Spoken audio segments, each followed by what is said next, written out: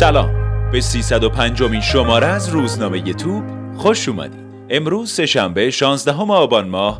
به رسم همیشگی خبرهای مهم روز فوتبال ایران رو کنار هم مرور می‌کنیم. هشدار جدید AFC به استقلال و پرسپولیس. احتمال حذف دوباره سرخابی ها از آسیا. فرجه پرداخت بدهی ها برای باشگاه های مدعی حضور در لیگ قهرمانان آسیا در فصل جدید همانند فصل گذشته بوده و تغییر نکرده.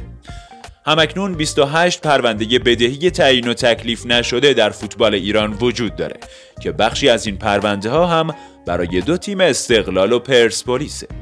بر اساس قوانین AFC عدم پرداخت بدهی ها حتی در زمینه مالیات و بیمه موجب حذف باشگاه ها از رقابت های آسیایی خواهد شد که هر دو باشگاه در این زمینه دارای بدهی هستند. حمله تند میساقی به طلای پوشان سپاهان شکایت کرد.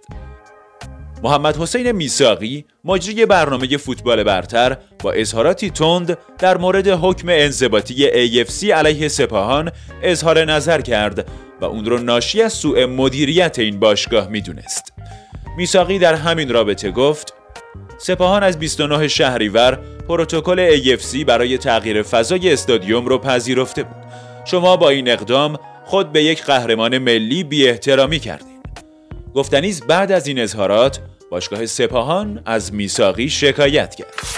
پرسپولیس بهترین تیم ایرانی در ادوار مسابقات آسیایی باشگاه پرسپولیس بنابر آمار بهترین تیم ایرانی در ادوار مسابقات آسیایی نام گرفت.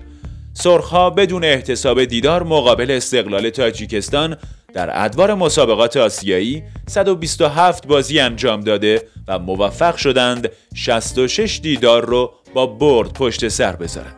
این در حالی است که نزدیکترین تیم به پرسپولیس استقلاله که در 120 بازی آسیایی خود 54 برد به دست آورده. کریخانی سنگین مجیدی برای پرسپولیسی ها فرزاد مجیدی بازیکن اسبق استقلال و برادر فرهاد مجیدی که سالها در این تیم بازی کرده با انتشار ویدیویی از یک داربی قدیمی که در تاریخ 14 آبان 84 برگزار شده بود برای پرسپولیسی ها کری خوند. در اون بازی استقلال موفق شد با تکل رضا عنایتی پرسپولیس رو شکست بده و پاس گل رو هم فرزاد مجیدی به عنایتی داده بود.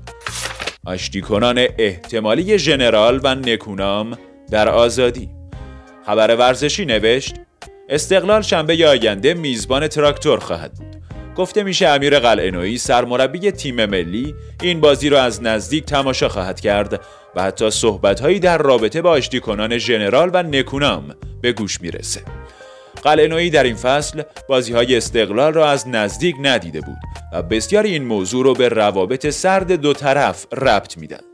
گفتنیست نکونام در اولین فصل بازگشت خود به فوتبال ایران و در زمان مربیگری قلعه‌نویی در استقلال با اون دچار اختلاف شده بود.